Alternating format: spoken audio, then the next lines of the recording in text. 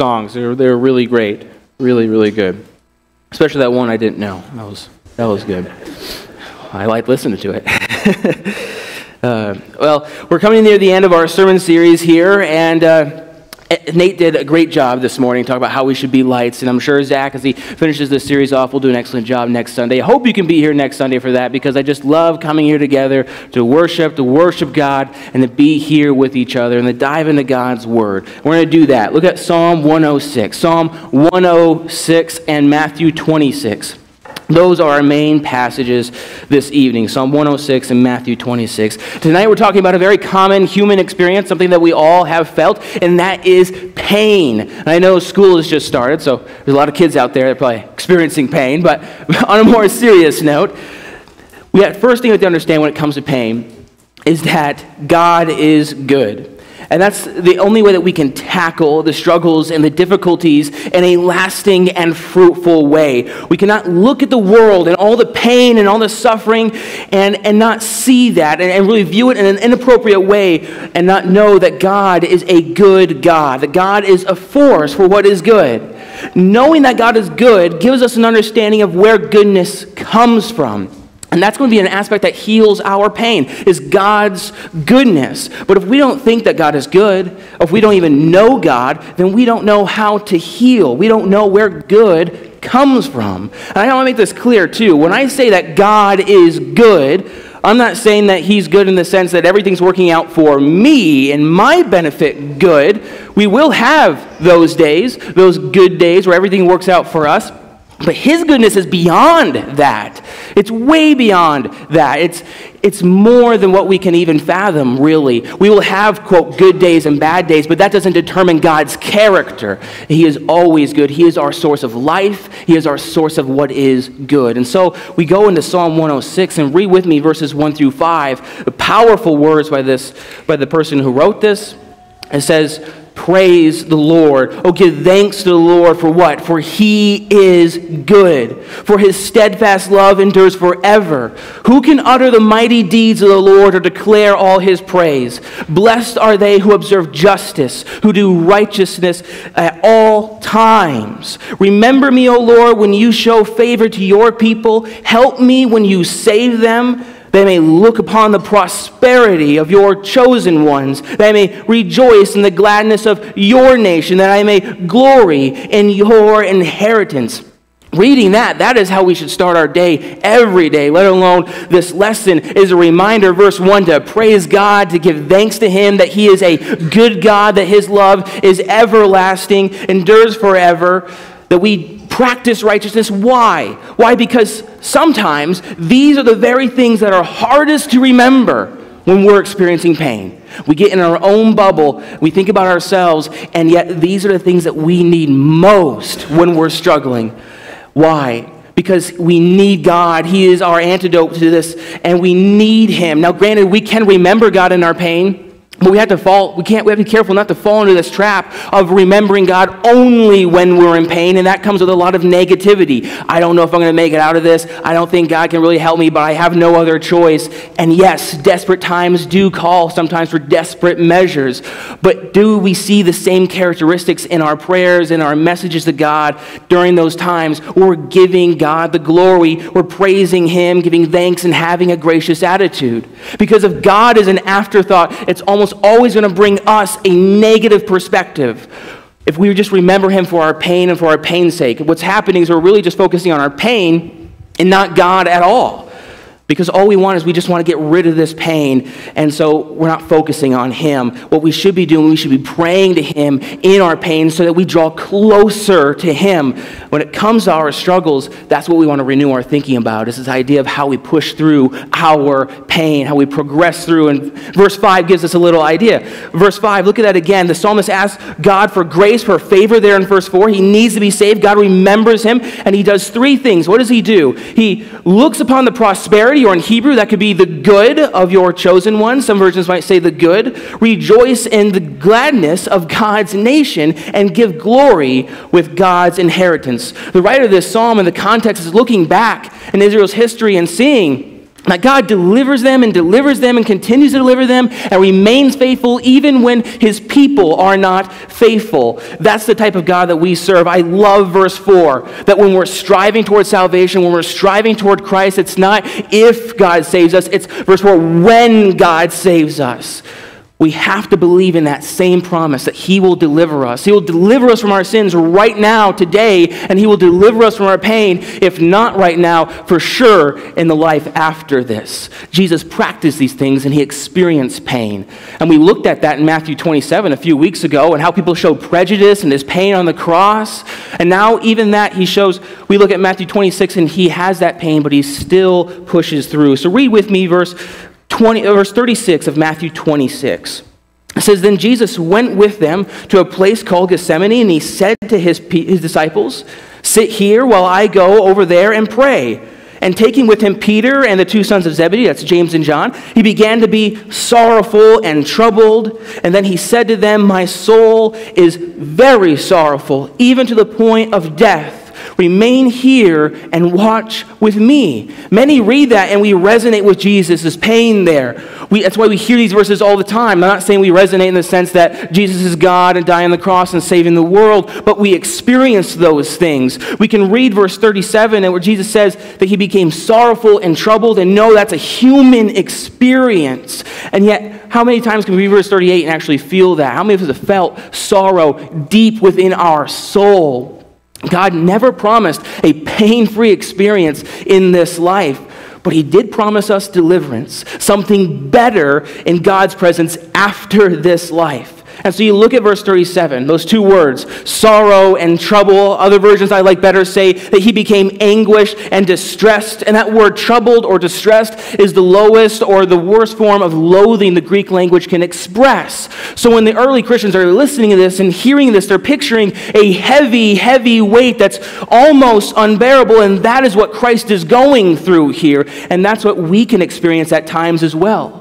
There's different levels of suffering, and we all know this. Anything from a toothache to something more serious, like, I lost a loved one.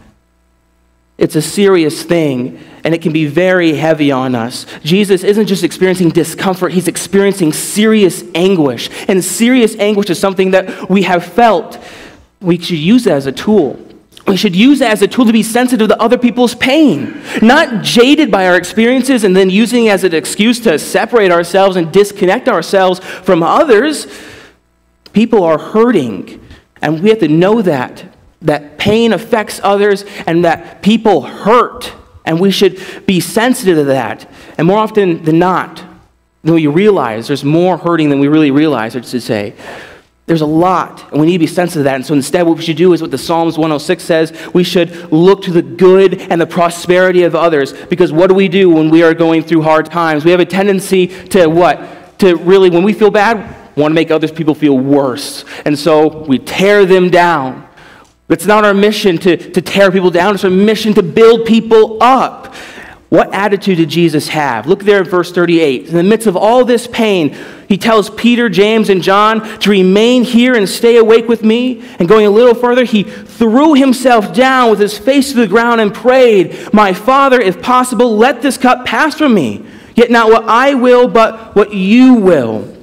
I love that there's teaching there, that Jesus is teaching them. He's still teaching them. And what seems to be just routine, yeah, I'm with Jesus, and of course I'm going, I'm going to pray, but he's still teaching them. A piece of Jesus' focus, while in the midst of deep anguish, is on the good of his disciples here, his chosen one. He wants to see spiritual growth and companionship. That is a part of looking at the good of our brothers and our sisters is the unity that we experiencing when facing struggles that we can face these things together. I'm able to come together, I'm able to pray with my brothers and sisters. Now they're sitting down, they're not supposed to. We know from a parallel passage that Jesus tells them what? When they came to this place, that's the garden, to pray that you may not enter into temptation. Jesus is looking out for their well-being. Jesus sees what is to come, hence his distress. He's, that's why he's feeling pain. But the disciples here, they're not in the same place Jesus is. They aren't experiencing that type of distress. And Jesus saying, Don't make yourselves too comfortable. Pray that you do not enter into temptation. Jesus is thinking not about his own pain and the suffering that he'll experience in the near future, but also about their well being and the spiritual health of his friends. And I say friends because that's what he calls Judas in verse 50, and we'll look at that in a second. But think about pain for a moment. How often do we allow pain to blind us and disconnect ourselves from others? If we're leaning into God or we're leaning into His goodness, we should be using our pain to motivate those that may be weaker in faith. Because if we are able to look at the good in a moment, then we're able to see that God is using that moment of pain in our life as an example to strengthen those that are around us, to build each other up, to lift each other up. And so we have to ask when we see people who may not be in the same boat, who may not be suffering, how do we view them? Are we viewing them as an enemy, as a nuisance, as someone who's just annoying, or as a friend? And what does Jesus say in verse 47 through 50? Read with me. While he was still speaking, Judas came, one of the twelve, and with him a great crowd with swords and clubs from the chief priests and the elders of the people. Now the betrayer, Judas, had given them a sign saying, The one I will kiss is the man, seize him. And he came up to Jesus and at once said, Greetings, Rabbi. And he kissed him. And Jesus said to him, Friend, do what you came to do. And then they came up and laid hands on Jesus and seized him. No one would consider Judas to be a friend at that moment. You read that, and many people would see him as an enemy. You just betrayed me. Why would I call you a friend? Do you see how much, how hard it is and how courageous it is to just look at someone you've been close to for so long and then see him betray you and then look at him and call him a friend? I think sometimes we make the mistake of, of forgetting who our enemy really is, and so we blame other people or we go to the extreme and we blame God when really our enemy is Satan, and he will use people. Whether they know they're working for Satan or not, he will use people. Satan wants to destroy us, and he wants to use people to distract us from him tearing us down. Just like he wants to destroy Jesus, and everyone else before Jesus who were faithful. We read that in Hebrews 11. You look at examples of faithful people's lives, like, like Job, you look at Abraham. You think about their lives and the pain and the struggling that they went through. What did they do? They pushed through that pain so that after that pain, they could look back and they could see what God did for them and the amazing things that God did for them. Pain is one of Satan's tools, and he will sometimes use people execute that hurt. In fact, he will use hurt people to hurt others. He wants us to focus on our pain and ourselves, not the good of others. In an interview the other day, I heard someone put it this way. I, I thought it was really good. He says, You cannot be self conscious and other conscious at the same time. You cannot be both. And I thought, well, that's a really good observation. So you apply that to Jesus here. Jesus is focused on himself. And in a sense, yes, he's aware of his suffering. That's how he's focusing on himself. But he's not self conscious because we see him caring for the good of others, his disciples, and even those who are hurting him and laying hands on him and trying to arrest him and even go to the point of crucifying him. What does he tell his disciples? Pray that you do not enter into temptation. He doesn't want to see them fail. He doesn't want to see them go into pain, the fall into sin. He doesn't like like to see us even suffer. And so, in addition, the good of our brothers and our sisters, it should rub, on, rub off on us so they can build us up. And if we can push through our pain, it can lift them up as well. It should work together for God's glory. If we're just self conscious, then what's going to happen is we're going to look at the good of everything, all the good, God's goodness, and the good of His people, and just see it as a negative thing. And envy is going to grow in our heart. Let's use our pain for the building up of others, especially for God's people. We need to do the opposite of what the disciples did. Right? If we, that's the progress of pain. If we lean into God, we do what the disciples did not do. What the disciples do? Right? They, they fell asleep if we continue reading in that passage. But what did Jesus tell them to do? To pray, to connect with Him, instead of falling asleep. In fact, Nate made this point this morning. I didn't know you'd make it. But we can fall asleep on God. We can fall asleep. In fact, life without God is that it's sleeping. It's not going anywhere when we're sleeping. We can't do anything. We can't progress. We can't move forward. I know we're thinking, well, it's easy. It's easy to sleep on God, my pain, because I don't want to experience pain anymore. I just want it to go away. But God has a better plan for us. God has something better for us. He wants us awake so that we can move forward. The building of God's people, the building up of God's people, is going to lead to the strength of His kingdom. And if we can overcome those challenges and the pain, it's only going to strengthen His kingdom even more. What does the psalmist say in Psalm 106, verse 5, that second aspect? I may rejoice in the gladness of your nation. It can be very hard to read Matthew 26 and see where is Jesus rejoicing here. Unless our view of joy is just jumping up and down in continual bliss. That's a joyful moment, maybe, but that's not joy itself. Joy and even anguish should not conflict with each other. I'm not saying you smile for 10 minutes and your pain will go away, but we have to understand what is the gladness of God's nation. God's nation, God's people are not meant to be some miserable existence. This was supposed to be true for the people of Israel, and it's still true for us today as God's people. God's people should be full of joy, be rejoicing in God. It should take themselves outside of their own experience and their own pain into a new reality where God gives them a new life and a new purpose. So, what is God's nation? Because before it was the church and the saints, it was the people of Israel. And before it was the people of Israel, it was God's promise. It was a simple promise. And what is Jesus living for? Look at the two prayers that Jesus gives in Matthew 26, 39 through 43. Matthew 26, 39. Look closely at the differences between these prayers. My Father, if it be possible, let this cup pass from me. Nevertheless, not as I will, but as you will. And he came to the disciples and found them sleeping. And he said to Peter, so could you not watch with me one hour? Watch and pray that you may not enter into temptation. The spirit indeed is willing, but the flesh is weak. Again, for the second time, he went away and prayed, My Father, if this cannot pass unless I drink it, your will be done. And again, he came and found them sleeping, for their eyes were heavy. Where is Jesus' focus in his prayers?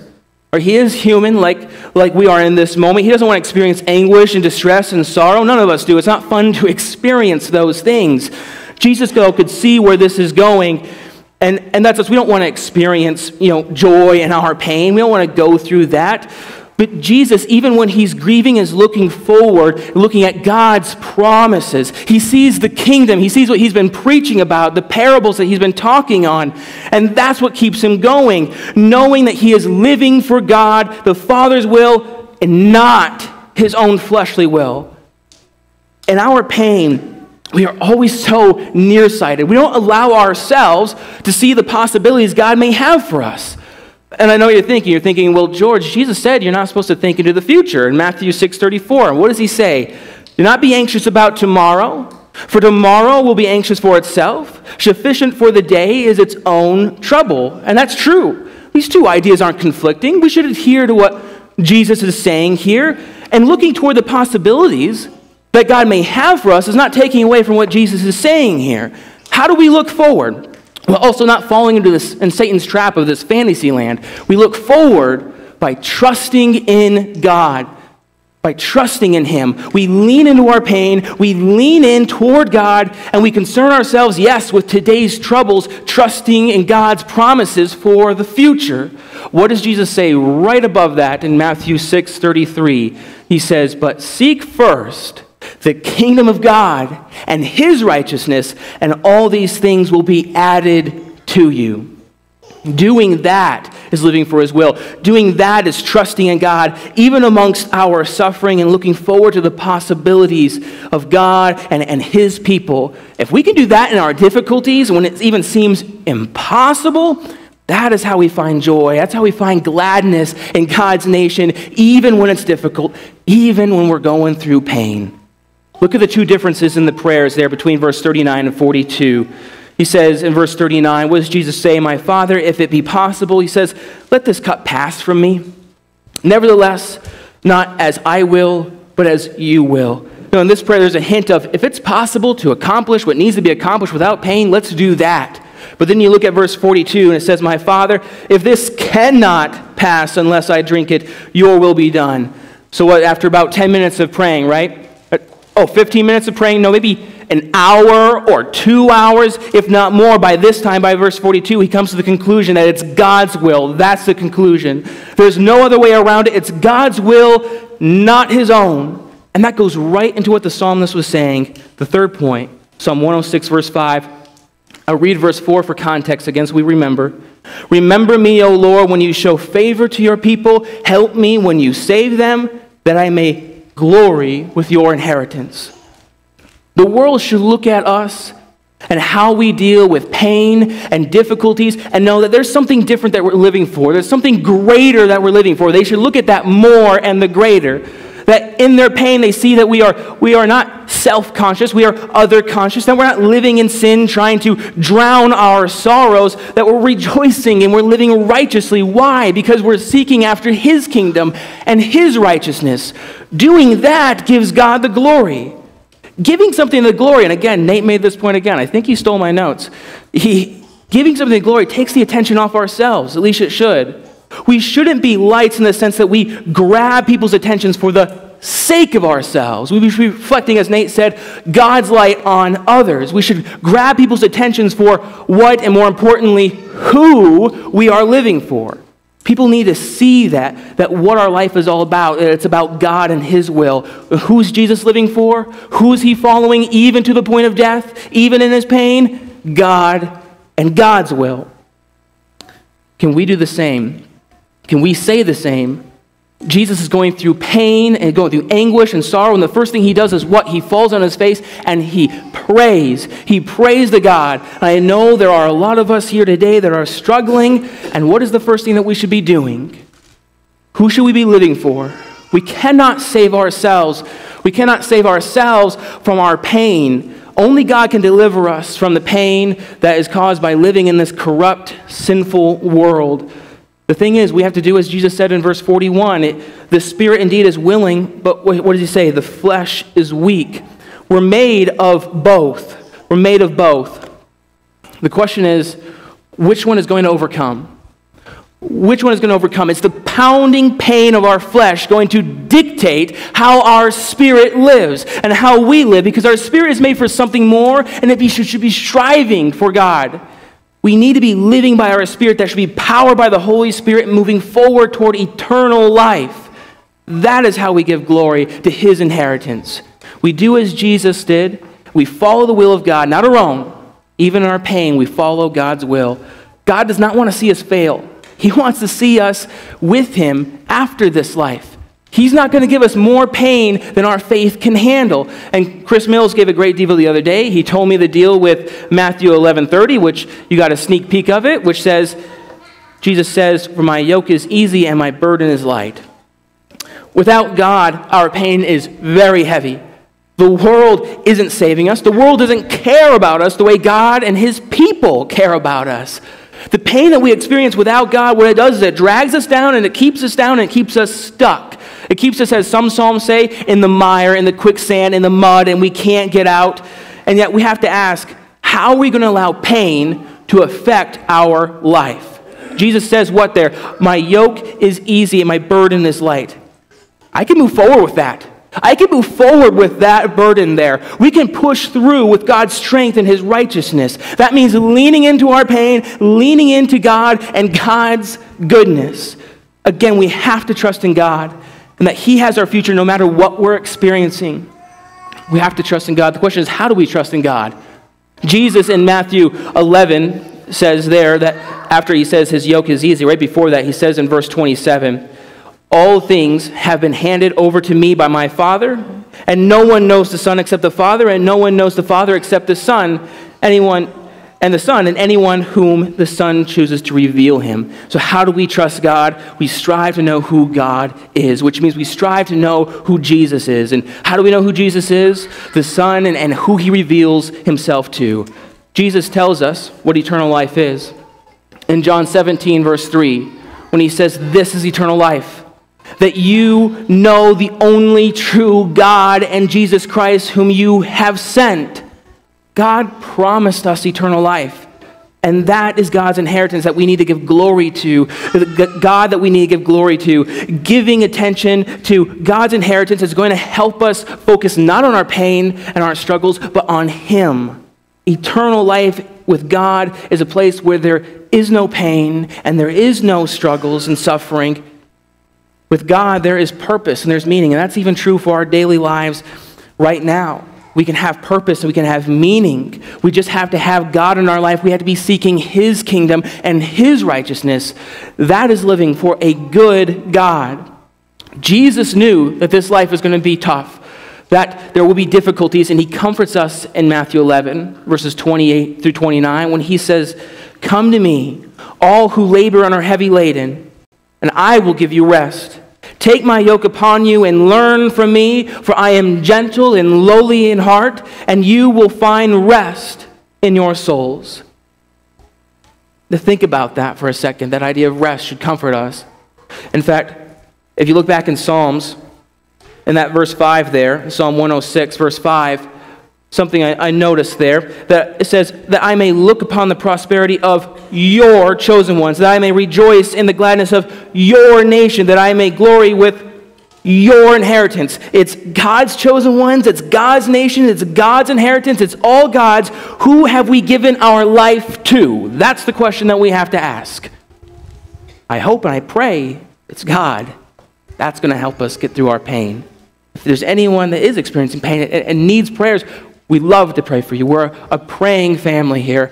We collectively, individually, reach out to us. We'll pray for you. If there's those that are experiencing pain and need Jesus, you look at moments after he prayed in the garden, after he experienced anguish and sorrow and distress. He was what? He was beaten and whipped and nailed to the cross. He lived and he died for us so that we can learn from him, so that we can be perfect in God's sight. If we are going through pain, a life for God changes how we look at struggles, it changes how we deal with challenges. Jesus changed our life. It can change your life as well. It starts with being baptized, washing away those sins that we know without God causes so much grief. And if that is you this evening, you want to be baptized, and come forward now while we